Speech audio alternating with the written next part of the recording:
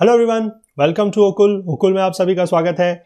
आइए डे 28 में आज हम पहुँच चुके हैं अपने लक्ष्य 100 प्लस और 90 डेज़ रिवीजन कोर्स के, के साथ। इसको हम आगे बढ़ाएँगे। पार्ट फोर रहेगा इकोनॉमी का आज। तो अगर अभी तक आपने कोर्स एनरोल नहीं किया है तो प्लीज़ नीचे डिस्क्रिप्शन बॉक्स में लिंक दिया गया है, वहाँ जाके आप कोर्स एनरोल कर सकते हैं। और ये वीडियोस देखने के लिए, जहाँ पर हम इन क्वेश्चंस जो होते हैं, इन क्विजेज में, उनका डिस्कशन करते हैं, जो रात के आठ बजे वीडियो आप सब लोगों के सामने होता है, उसको देखने के लिए प्लीज़ चैनल ज़रूर सब्सक्राइब कर लीजिए और बेल आइकन प्रेस कर लीजिए सो दैट कि आप लोगों से नोटिफिकेशन मिस ना हो। तो आइए देखते हैं, आज के दिन के वो पाँच क्वेश्चन जो सुबह के क्विज में लाइव हुए थे, वो क्या है? तो जो दिन का पहला क्वेश्चन है that is with regard to development banks कि डेवलपमेंट बैंक्स के रिगार्डिंग कुछ स्टेटमेंट दी गई हैं। पहला है कि it land at low and stable rates ये जो डेवलपमेंट बैंक्स होते हैं, ये लो एंड स्टेबल रेट्स में लैंड करते हैं, ठीक है? इनका जो रेट ऑफ़ इंटरेस्ट होता है, वो कम होता है और स्टेबल होता है। And it is to promote this short term investment यानी कि जो छोटे टाइम के लिए जो इन्वेस्टमेंट होते हैं, उनको प्रमोट करने के लिए। ठीक है? पहला स्टेटमेंट ये बोलता है दूसरा बोलता है कि considering the social benefits of such investment कि इस तरीके के इन्वेस्टमेंट का जो सोशल बेनिफिट्स होता है एंड अनसर्टेनिटीज यानी कि जो अनिश्चितताएँ होती हैं associated with them the development banks are often supported by governments और इंटरनेशनल इंस्टीट्यूशंस ठीक है? तो ये दूसरा स्टेटमेंट बोलता है और तीसरा बोल रहा है कि जो industrial finance corporation of India यानी कि आई है, वो इंडिया का पहला डेवलपमेंटल बैंक है। तो इनमें से कौन सा स्टेटमेंट सही है, हमें ये बताना है। पहला स्टेटमेंट जो है, वो गलत है, ठीक है? पहला स्टेटमेंट गलत इसलिए है क्योंकि ये शॉर्ट टर्म इन्वेस्टमेंट के लिए नहीं होता है, ठीक है? ये चीज़ ध्यान रखिएगा। जो डेवलपमेंट बैंक्स होते हैं, भले ये वर्ड यहाँ पर डेवलपमेंट दिया गया है तो आपको लग सकता है कि ये शॉर्ट टर्म के लिए है, पर ये शॉर्ट टर्म के लिए नहीं होता है। तो पहला स्टेटमेंट गलत है, दूसरा और तीसरा स्टेटमेंट बिल्कुल सही है। तो जो इसका सही आंसर बनेगा, वो बनेगा ऑप्शन बी ठीक है? ऑप्शन बी सही बनेगा, ये डेटा पॉइंट्स इसको चेक करते हैं जल्दी से क्या है। Development banks are financial institutions that provide long term मैंने बताया शॉर्ट टर्म नहीं है it's a long term credit for capital intensive investment ये भी ध्यान रखिएगा कि कैपिटल इंटेंसिव इन्वेस्टमेंट्स के लिए होता है, ठीक है? Spread over a long period and yielding low rates of return इसका जो रेट्स ऑफ़ रिटर्न है वो लो होता है और ये किस किस कामों में यूज़ किया जा सकता है? जैसे कि अर्बन इंफ्रास्ट्रक्चर में माइनिंग में हैवी इंडस्ट्री में एंड इरिगेशन सिस्टम्स ठीक है? आईएफसीआई जो है या फिर industrial finance corporation of India आप बोल सकते हैं दैट इज़ 1949 में ये सेटअप हुआ था। And this was probably India's first development bank for financing industrial investments ठीक है? क्योंकि यहाँ पर नाम इंडस्ट्रियल है तो आप इससे याद रख सकते हैं कि लिए किसके लिए था।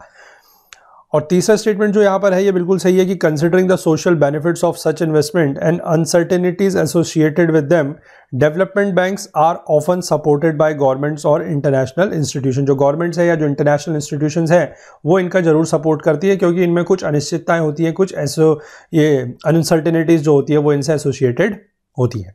ठीक है? चलिए, दूसरा क्वेश्चन देखते हैं, दिन का क्या था? दूसरा क्वेश्चन है कि which among the following is और are considered by the banks while deciding lending rates for loans कि जब जो बैंक है, वो लोन्स के लिए देते हैं, जब लोन्स के लिए वो पैसा देते हैं तो वो लेंडिंग रेट्स जो है, वो कैसे डिसाइड करते हैं? ठीक है?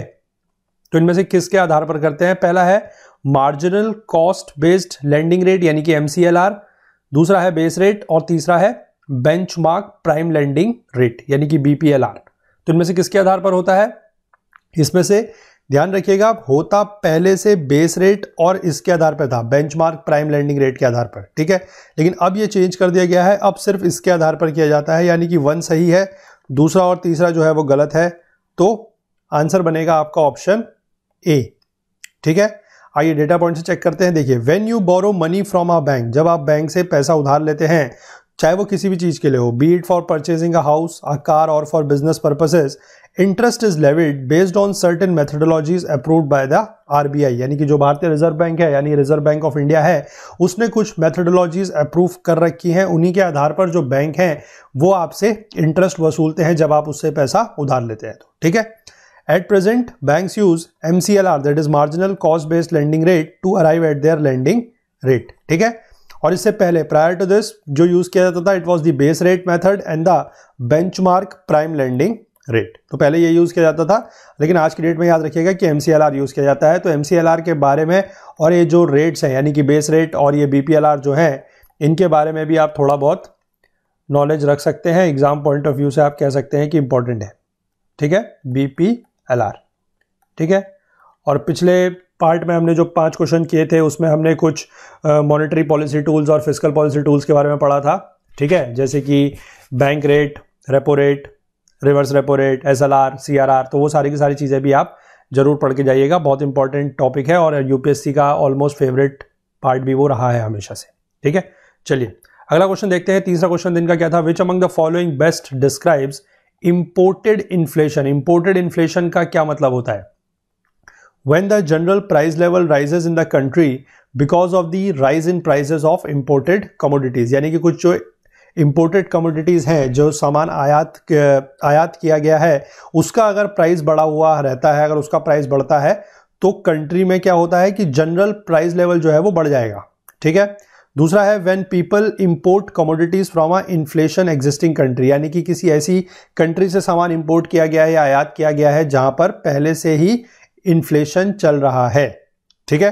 तीसरा है when the people import commodities with cheap prices related to domestic prices यानी कि डोमेस्टिक प्राइजेस यानी कि घरेलू प्राइजेस घरेलू मार्केट में जो रेट है, उसके कंपैरिजन में अगर चीप प्राइजेस पे सामान खरीदा जाता है तो उसको बोला जाता है क्या? इंपोर्टेड इन्फ्लेशन या फिर चौथा है inflation occurs in a country due to the global price hike of crude oil यानी कि अगर क्रूड ऑयल कच्चे तेल का दाम अगर ग्लोबल मार्केट में, अगर वैश्विक मार्केट में क्रूड ऑयल का दाम बढ़ता है तो उसकी वजह से जो प्राइस हाइक होता है, उसको बोला जाता है उसकी वजह से जो इन्फ्लेशन होता है, उसको बोला जाता है इंपोर्टेड इन्फ्लेशन तो इनमें से कौन सा स्टेटमेंट सही है, कौन सा ऑप्शन सही है? ऑप्शन ए जो है, वो बिल्कुल सही है, ध्यान रखिएगा आप। ठीक है? ऑप्शन ए बिल्कुल करेक्ट है इसका। चलिए देखते हैं डेटा पॉइंट में क्या है कि imported inflation is a general and sustainable price increase due to an increase in cost of imported product ठीक है? यानी कि जो इम्पोर्टेड प्रोडक्ट्स हैं या इम्पोर्टेड कमोडिटीज हैं, अगर उनका दाम बढ़ा हुआ है तो जनरल प्राइस राइज हो जाएगा कंट्री में, उसको बोला जाएगा इम्पोर्टेड इन्फ्लेशन ठीक है? This price increase concern the price of raw materials and all imported products और services use by the companies in a country ठीक है? और इस इंपोर्टेड इन्फ्लेशन को कॉस्ट इन्फ्लेशन भी बोला जाता है। ठीक है? उसका दूसरा नाम कॉस्ट इन्फ्लेशन है, ध्यान रखिएगा। Imported inflation is cause by a decline in the value of the country's economy जब देश की जो करेंसी है ठीक है? जो उसकी करेंसी है, जब वो डिक्लाइन करती है, तब ये इंपोर्टेड इन्फ्लेशन आता है, ठीक है? क्योंकि अगर करेंसी ज़्यादा डेप्रिशिएट करेगी डेप्रिशिएट करने का मतलब है कि करेंसी आप कह सकते हैं कि अगर आप ग्लोबल लेवल पर कंपेयर करें तो आपके जो देश की करेंसी है, वो डेप्रिशिएट कर रही है या उसकी जो वैल्यू है, वो कम हो रही है, ठीक है? On the foreign exchange market the higher the price of imports क्योंकि जितना आपकी देश की करेंसी जो है वो डिप्रिशिएट करेगी, उसमें आपको क्या होगा कि एक सर्टेन अमाउंट ऑफ़ गुड्स लेने के लिए आपको अब ज़्यादा प्राइस देना पड़ेगा। ठीक है? गुड्स लेने के लिए मतलब गुड्स इंपोर्ट करने के लिए। ठीक है? क्योंकि इंपोर्ट एक्सपोर्ट जो है वो आपका फॉरेन एक्सचेंज का जो रेट होता है उस पर डिपेंड करता है। ठीक है? तो effectively more money is needed to buy goods and services outside the country ठीक है? तो इसलिए आता है बेसिकली इंपोर्टेड इन्फ्लेशन और इंपोर्टेड इन्फ्लेशन का ही दूसरा नाम है कॉस्ट इन्फ्लेशन ये भी आप नोट डाउन कर सकते हैं। चलिए, अगला क्वेश्चन देखते हैं। चौथा क्वेश्चन दिन का क्या था? With reference to market intervention price scheme MIPS एक स्कीम है। उसके आधार पर कुछ स्टेटमेंट्स दिए गए हैं। पहला है कि it is a price support mechanism implemented on the request of state government यानी कि स्टेट गवर्नमेंट्स अगर रिक्वेस्ट करती हैं तो तब जाके ये जो है इसको इंप्लीमेंट किया जाएगा। ठीक है? एमआईपीएस स्कीम को। It is for procurement of perishable and horticultural commodities in the event of a fall in market prices. Perishable का मतलब होता है जो चीज़ें जल्दी खराब हो जाती हैं, ठीक है? और हॉर्टिकल्चरल कमोडिटीज़ का मतलब होता है जैसे कि आपका फ्रूट्स है वेजिटेबल्स है, जिनको डायरेक्टली आप कंज्यूम कर सकते हैं, वो सारी चीज़ें, ठीक है? और in the event of fall in the market prices यानी कि जब मार्केट में प्राइस जो है वो कम हो रहा है तो उस समय इनका प्रोक्योरमेंट करना या फिर इनका खरीदना, ठीक है? और तीसरा स्टेटमेंट दिया गया है the scheme is implemented when there is at least 10% increase in the production or 10% decrease in the ruling rates over the previous normal year. ठीक है? तो इनमें से कौन सा स्टेटमेंट सही है? इनमें से जो स्टेटमेंट सही है, वो तीनों ही स्टेटमेंट्स बिल्कुल सही हैं regarding your M I P S that is market intervention price scheme तो ऑप्शन इसका जो सही बनेगा that will be option D ठीक है? आइए जल्दी से डेटा पॉइंट्स में चेक करते हैं। इसको क्या है कि it is a price support mechanism implemented on the request of state government मैंने आपको जैसे बताया स्टेट गवर्नमेंट के रिक्वेस्ट पे इसको इंप्लीमेंट किया जाता है। It is for procurement of perishable and horticultural commodities in the event of a fall in market prices. ठीक है और स्कीम को तभी इंप्लीमेंट किया जाएगा कि when there is at least 10 percent increase in the production और 10 percent decrease in the ruling rates over the previous normal year ठीक है इसका जो मेन ऑब्जेक्टिव है वो क्या है कि it is the objective is to protect the growers यानी कि जो उगाते हैं, खेती जो करते हैं of these horticultural and agricultural commodities from making distress sale distress sale का मतलब है कि जब आपको तुरंत आप कह सकते हैं कि आपके जो प्रोडक्शन हुआ, ठीक है, जो फार्म प्रोडक्शन आपका हुआ है, वो काफ़ी ज़्यादा है और फार्मर्स कभी कभी क्या करते हैं कि चाहते हैं कि सारा का सारा जो उनका क्रॉप है, जो उनकी फ़सल है, वो एकदम सारी की सारी चीज़ें या जो उनका प्रोडक्ट है, वो सारा का सारा एकदम से बिक जाए, ठीक है?